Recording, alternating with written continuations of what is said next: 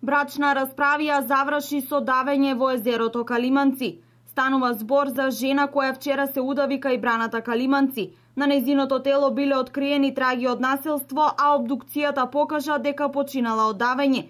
Екипа на Канал Плюс телевизија беше на местото на настанот. Поред официјалното сообштение од Министерството за внатрешни работи, вчера околу 12 часот и 10 минути во полициското оделение во Македонска каменица, телефонски се јавила мајката на ТС и пријавила дека незината керка и зетот на возраст од 35 години имале брачни недоразбирања и дека со патничкото моторно возило Ford Fiesta со штипски регистерски ознаки се упатиле кон Делчево.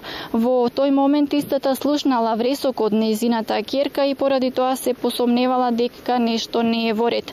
По превземените мерки од страна на службите во 17 часот и 45 минути во водите на браната Калиманци кај место викано Рибница забележано било како тело плови на површината на водата за кое подоцна е утврдено дека се работи за 30 годишната ТС од Македонска каменица.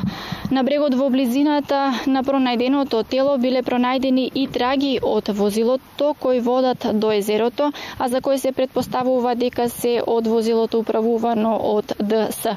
Во здравствениот дом во Македонска каменица бил извршен преглед врз телото на сега починатата ТС, при што биле констатирани повреди на главата и десната надлактица, како и на долниот дел од грбот. На телото на ТС било извршено и обдукција од страна на патолошката служба од Скопје, при што било констатирано дека смртта настанала како причина од давење во вода. Предлагам да слушнеме дел од изјавите за тоа што се, слу... се случувало и што предпоставуваат жителите и како го прифаќаат целиот настан. Не, случајно, случајно наминаваме тука. Инаку од улица сте, не? Не, јас сум тука од Тодорос. Кој се не знам точно. Жално. Жално како не. Млади, проблеми. Така не, не се решаваат тие проблеми. Само те решили се они. Не е убаво. Да, ги познаваме. Тие се од моето село, цело, од село Дулицата му беше домозет туку каменица. Кај дедам.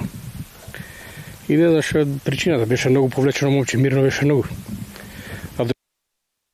работа немам појма. Нешто изненадно испадна тоа. А што е работа не ми е јасно.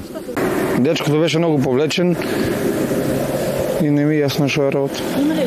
Са по а, мобети што се дума, по каменца, таа била жена по Италија, нешто некој работи имало и, и тоа е. Инаку, како што кажав, истрагата се уште трае. Екипи од специјалци со чамци и со нуркачи се наоѓаат во водите и го бараат и возилото и машкото тело, односно сопругот на сега починатата ТС.